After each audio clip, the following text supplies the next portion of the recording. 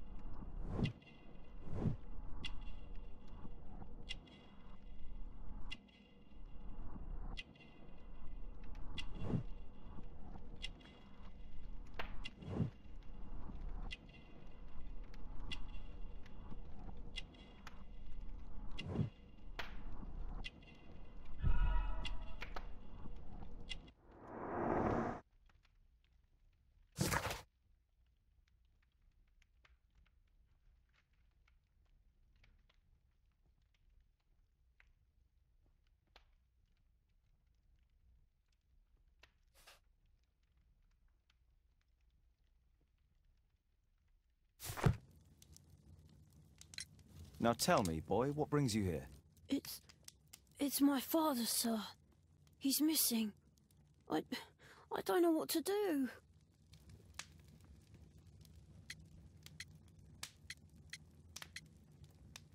Missing, eh? And what do the police say? The police, they don't believe me. They say he's just abandoned me. But that's a lie.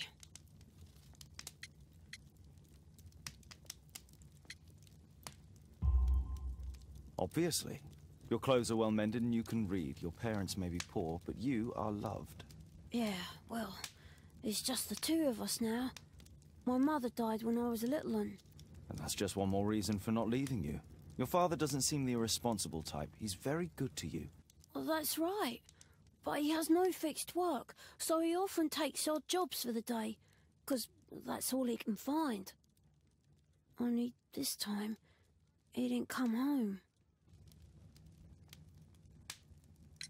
What's his name? George Hurst, sir. And when was the last time you saw him? Three weeks ago. He left for a new job, but this time he was acting a bit strange and angry. Strange. In what way? He said to me, Son, I'm out on a special job. Don't you dare move from here. I think something went wrong. Three weeks? That's a long time. Well, every day I thought he would show up. And anyway, I, I can look after myself. What do you mean, sir? Nothing. I was digressing.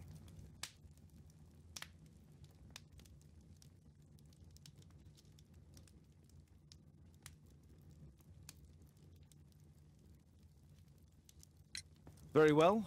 Your address, please, Tom. 12 Dorset Street, the first floor, door E. It's in Whitechapel, sir. But I ain't got no money to pay.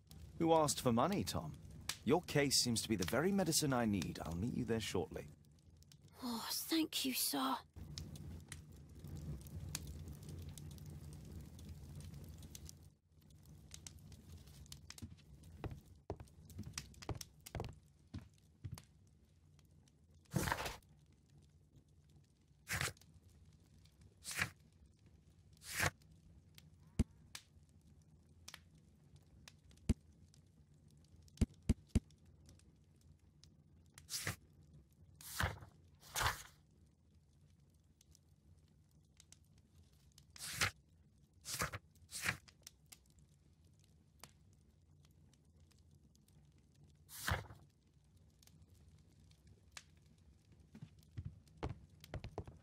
A map of London and its surroundings. Could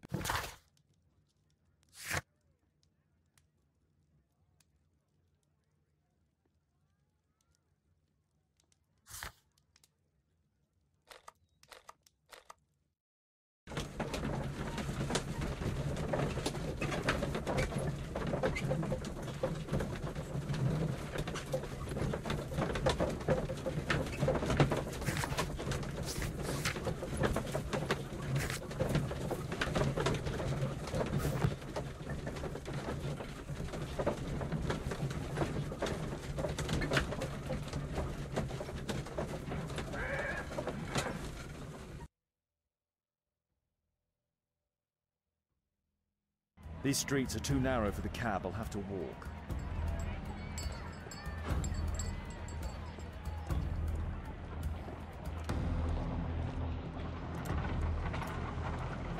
North Street.